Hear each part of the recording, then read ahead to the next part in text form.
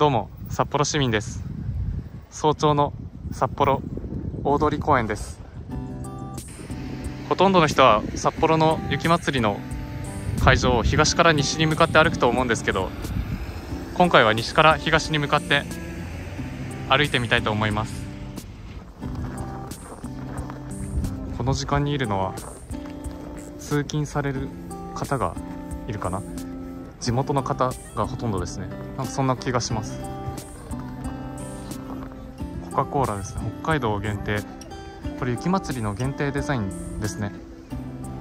ポーランドインドネシアリトアニアとか国際チームが作ってる雪像らしいです。船かな？雲かな？トカゲかな？何かな？ポーランド市。鳥かな？ポーランドって。園児が札幌キッズがいっぱい来てる。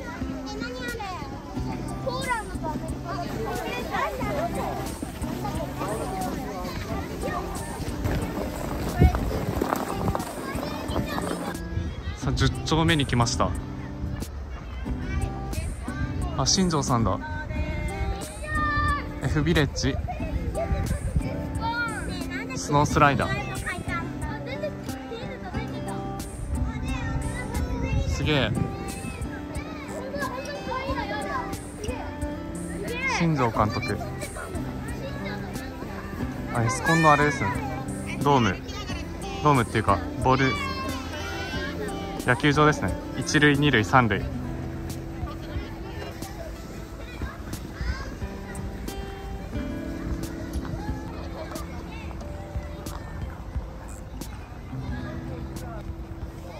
東京にビルを持とう。オフィシャルグッズショップもありますね。これ大きな雪像の裏側です。もし自分が雪に生まれるんだったら表舞台に行きたいけどこういう裏で支えてくれてる雪たちもいます。すごいよね。ボコボコ。ちょっと溶けてんのかな。まあいろんな人生があるんですな。こういう道路に落ちる雪もいれば。大雪像になれる選ばれし雪もいたりちっちゃい雪像になる雪もいたりそのまま川に落ちる雪もねいたりいろんな人生があります。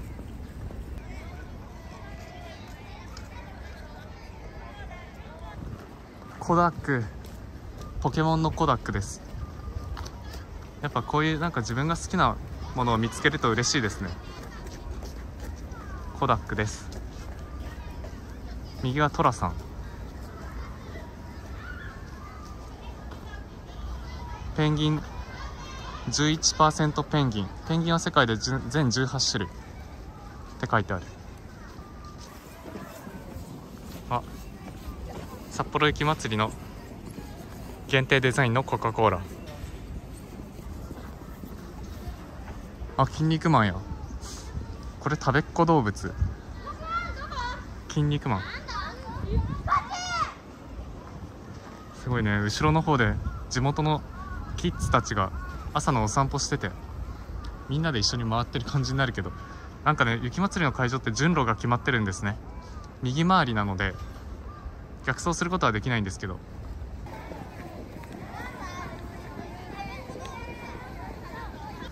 こういうのを見ると本当どうやって設計図書いてるんだろうとかね思います。この丸い R の部分とか本当綺麗だなって思う。平行も取れてるし。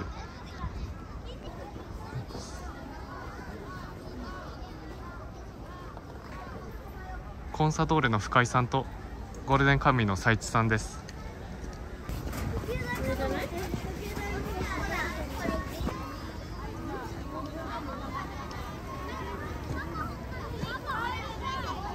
ただいまより雪の HTV 広場大雪像旧札幌停車場プロジェクションマッピングを上映いたします。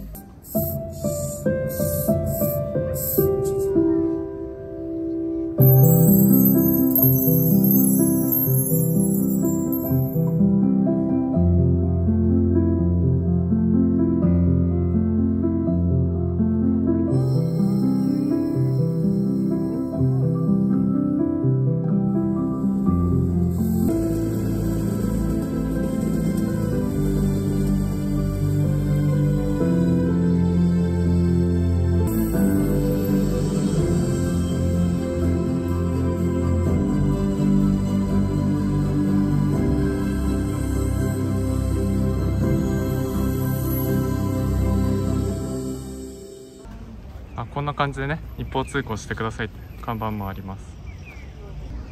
なんか楽しいですねすごい。天気もいいし風も穏やかでちょっと雪像見すぎてたまにある道のくぼみに足がガクンってなってねうわーってなるけどすごい楽しいです。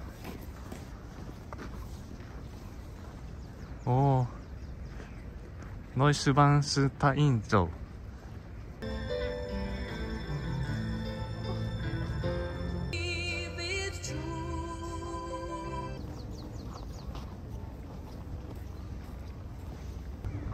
こうやって早朝からさゆっくり雪まつり見れるっていうのも地元民の特権だなって思いますよ。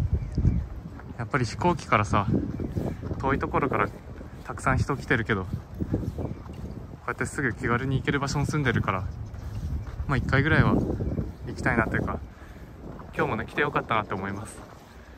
あいっぱいあるよ限定コカ・コーラ。これ欲しい人いっぱいいるんじゃない？炭酸がねワイ飲めないんであれだけども。いい天気だ。歩いてるだけで楽しいです。大通公園は雪まつり以外にも年中なんかイベントやってるので楽しいです。今警備の方と話してたんですけどここの道ね朝の10時から規制が入るみたいで今普通に車通っててまあ交互に信号やってるんだけど。もうすぐ交通規制が入って歩行者天国になるみたいです。だんだん人も増えてきました。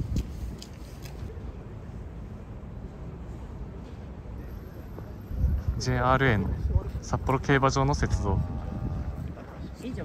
夜はあのプロジェクションマッピングをねやってる場所です。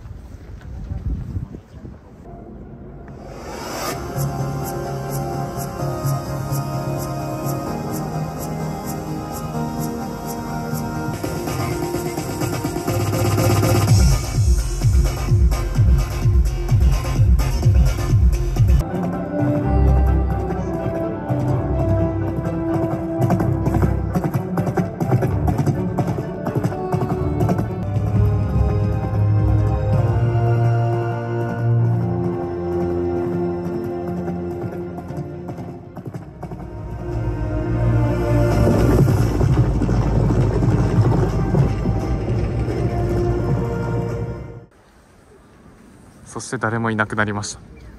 静かな競馬の大雪像。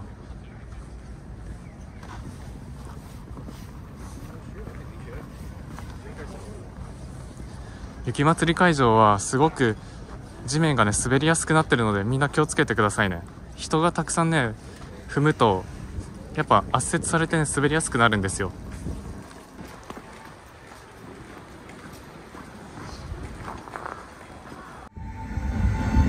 アシリパさん白石杉本。本当にすごい。本当にすごいよ。ここにアイヌの刺繍の模様があったりこの真ん中コタンがあってこの奥の木は多分北海道のトドマツかな。トドマツの木。ここもアイヌアイヌ柄のアシリパさんの額の額当て。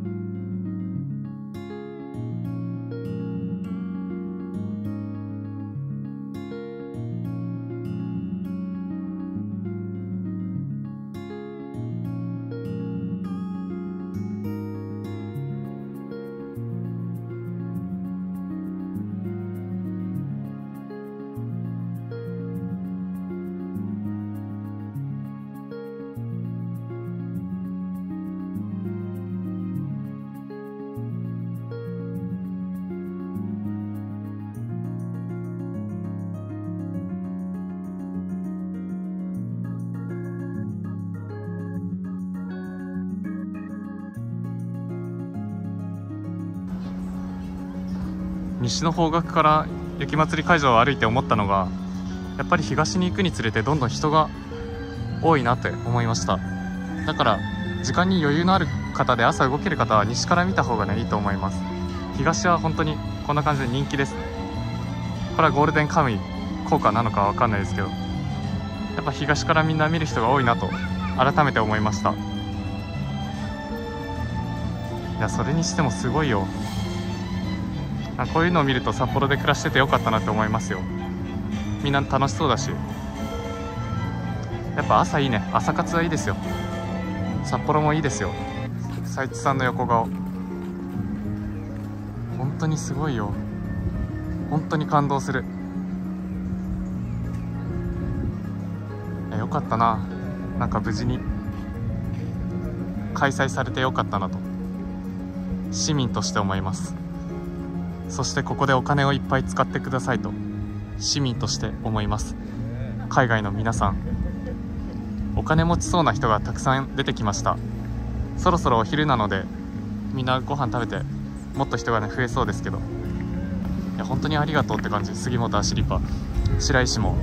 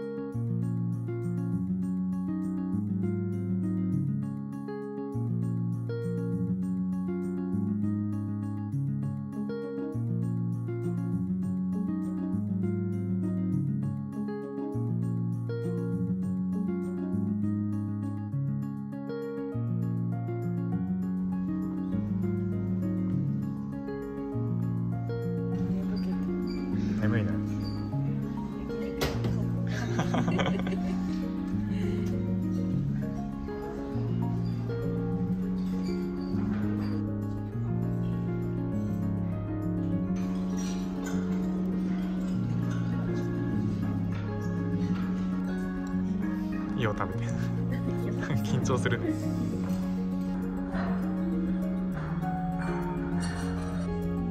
上に来たいよね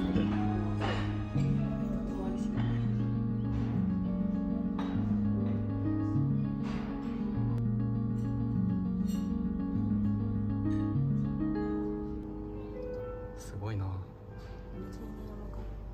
あ手稲山だね。大都会だな